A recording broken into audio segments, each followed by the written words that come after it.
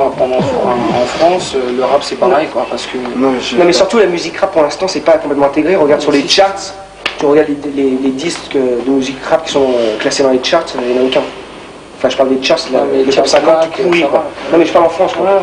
Pour l'instant, c'est pas encore arrivé. Maintenant, il commence à avoir les maisons de, les maisons de production et les labels qui s'intéressent à nous en tant que rap français parce qu'ils sentent que ça va faire du, de la thune quoi. C'est des requins, le mec. La racaille fait peur, oui, mais aujourd'hui elle devient producteur d'idées qui glissent. Éducatrice, c'est l'idée directrice dont soyons complices le mot qui mange le vice. Nous ne sommes pas marginaux, au contraire originaux. Sur le galop de mon flot, de mots, le fléau du héros t'amène au top. Sans les trop, ils ne peuvent pas comprendre qu'un noir ou un arabe fasse de l'argent. Ils pensent être un voleur ou un dealer à pauvres gens. Moi je suis blanc, ma couleur me permet de me mêler sans me faire remarquer et de dénoncer la mentalité qui règne au sein de notre société. Rapper est pour moi une profession, donc arrêtez de me bloquer dans ma progression. Comme ça je pourrais voler, glisser, couler, élaborer un style pour mieux me démarquer. Yo, ton répertoire est à revoir, mon savoir est l'accessoire pour une nouvelle victoire.